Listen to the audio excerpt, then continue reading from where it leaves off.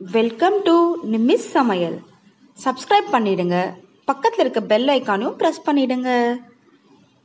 Hi friends welcome to நிமிஸ் சமையல் இன்றைக்கி வந்து நம்ம ரொம்ப சிம்பிளான அண்ட் ஹெல்த்தியான மாதுளம்பழம் ஜூஸ் எப்படி பண்ணுறதுன்னு பார்க்கலாம்.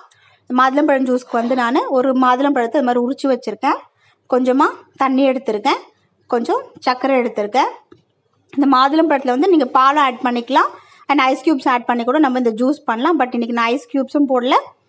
பாலும் சேர்த்துக்கல. வெறும் தண்ணி விட்டு நான் அரைச்சிக்க போகிறேன் மாதுளம்பழத்தில் வந்து நிறைய ஹெல்த் பெனிஃபிட்ஸ் இருக்குது ஹார்ட் ப்ராப்ளம் இருக்கவங்க இந்த மாதுளம்பழம் ஜூஸ் எடுத்துக்கலாம். அது மாதிரி வெயிட் லாஸ் பண்ணுறவங்களும் இந்த மாதுளம்பழம் ஜூஸ் எடுத்துக்கலாம். ப்ளஸ் இந்த மாதிரி ஸ்டொமக் பெயின் இருக்கவங்க கூட டெய்லி ஒரு மாதுளம்பழம் ஜூஸ் சாப்பிட்டா கூட மாதுளம் நம்மளுக்கு வந்து நல்ல ஒரு ரிசல்ட் கிடைக்கும். இப்போ வாங்க எப்படி பண்ணுறதுன்னு பார்க்கலாம். இந்த மாதிரி ஒரு பிளெண்டர் எடுத்திருக்கேன். இதில் வந்து உரிச்சு வச்சு இந்த மாதுளை முத்துக்களை இதில் சேர்த்துக்கிறேன். இது கூடவே நான் ஒரு ரெண்டு ஸ்பூன் அளவுக்கு சுகர் சேர்த்துக்கிறேன். இந்த பழத்துக்கு ஏற்ற மாதிரி நீங்கள் சக்கரை பார்த்து போட்டுக்கோங்க.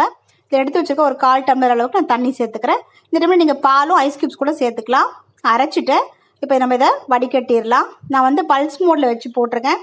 அதனால இந்த சீட்ஸ் இதே மாதிரி இருக்குது இப்போ பாருங்கள் நம்மளோட ஹெல்த்தி அண்ட் ஃப்ரெஷ்ஷான மாதுளம்பழம் ஜூஸ் சூப்பராக ரெடி ஆயிடுச்சு இது வந்து ரொம்ப ஹெல்த்தியானது இந்த சம்மருக்கு ரொம்ப ஆப்டானது இந்த இந்த வீடியோ உங்களுக்கு பிடிச்சிருந்தா நம்ம சேனலை லைக் பண்ணுங்கள் ஷேர் பண்ணுங்கள் கமெண்ட் பண்ணுங்கள் ஃப்ரெண்ட்ஸ் மறக்காமல் சப்ஸ்கிரைப் பண்ணிவிடுங்க அப்போ தான் நான் போடுற ஃபியூச்சர் அப்டேட்ஸ் உங்களுக்கு உடனே உடனே வந்து சேரும். ஓகே ஃப்ரெண்ட்ஸ் வேறு ஒரு நல்ல ரெசிபியில் நம்ம சந்திக்கலாம்.